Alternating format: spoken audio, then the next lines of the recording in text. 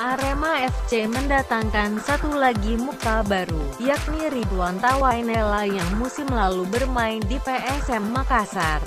Mantan anak buah pelatih Robert Rene Alberts itu sudah tampak berlatih di Stadion Dirgantara, Lanut Abdul Rahman Saleh, Pakis, Kabupaten Malang.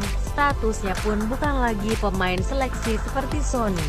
Ridwan statusnya beda dengan Sony, karena kami sudah tahu kualitasnya. Lihat saja nanti pasti semua tahu seperti apa kualitasnya, ungkap pelatih Arema, Joko Susilo pemain kelahiran Maluku Utara 22 tahun yang lalu itu bermain sebanyak 13 kali bersama Makassar.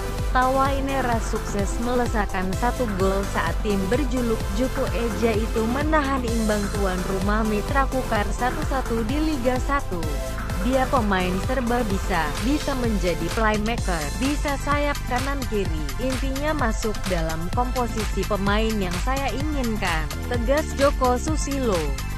Kita akan nantikan aksi permainan anak dari Maluku Tengah ini pada Liga 1 2018.